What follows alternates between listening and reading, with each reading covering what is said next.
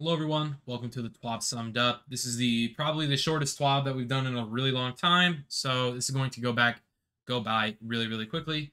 First things first, they talk about here is the weapon crafting update, basically saying that there is updated perk pools and updated origin traits for the weapons from Dares of Eternity. So if you do want these weapons red bordered, you can go farm those. Most people already knew that to be honest, but it is nice that they said it. Next thing we have is Lightfall Collector's Edition. They announced it. Then you can have your own Puka, Pauka. I don't know how you pronounce that, but there it is there, as you can see. And then finally, we have the player support report. As you can see, we have some of the issues that are listed.